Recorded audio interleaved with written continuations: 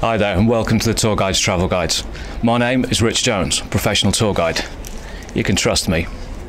Today, we broadcast from the magnificent university city of Oxford, affectionately known as the City of Dreaming Spires, a term coined by the great poet Matthew Arnold. The city itself goes back to ancient times, Anglo-Saxon in fact. The original name was Ox Enna It's quite literal actually. It's where the ancient drovers used to be able to ford their oxen en route to the meat markets of London, just about 60 miles southeast of here. Obviously, today Oxford known as the oldest university in the English speaking world, dating from the 13th century.